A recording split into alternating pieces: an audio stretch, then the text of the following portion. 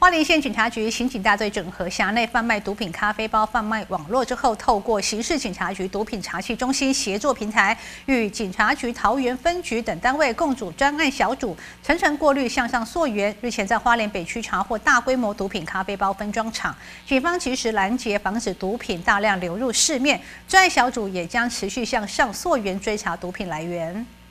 花莲县警察局刑事警察大队整合辖内贩卖毒品咖啡包贩卖网络后，透过刑事警察局毒品查缉中心协作平台，与该局侦查第七大队第一队、桃园市政府警察局桃园分局等单位共组专案小组，经过层层过滤，向上溯源。日前在北区查获大规模毒品咖啡包分装厂，经过层层分析，向上溯源后，日前在北部地区查获毒品咖啡包分装厂。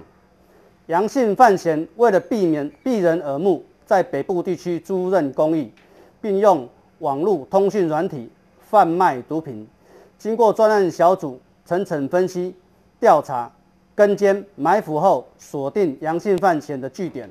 啊，出动二十名警力持搜索票、机票前往杨姓犯嫌住所予以具体搜索。当场查获毒品咖啡包七十五包，含有三级毒品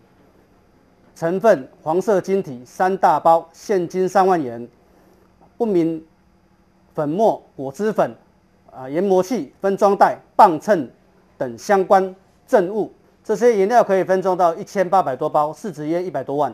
前案一毒品危害防治条例移送台湾花莲地方检察署侦办。警方将持续向上溯源，追查毒品来源。杨姓嫌犯为避人耳目，特地在北区租赁公寓，利用网络通讯软体贩卖毒品。经搜证监控，动员包含霹雳小组等二十多名警力，在杨嫌住处查获含有第三级毒品甲基、甲基卡西酮咖啡包等涉案证物。讯后以毒品危害防治条例罪嫌，将杨嫌移送花莲地检署侦办。花莲县警察局长戴崇贤表示，专案小组将持续向上溯源毒品来源，针对社区型毒品犯罪进行扫荡。记者蒋方燕华联市报道。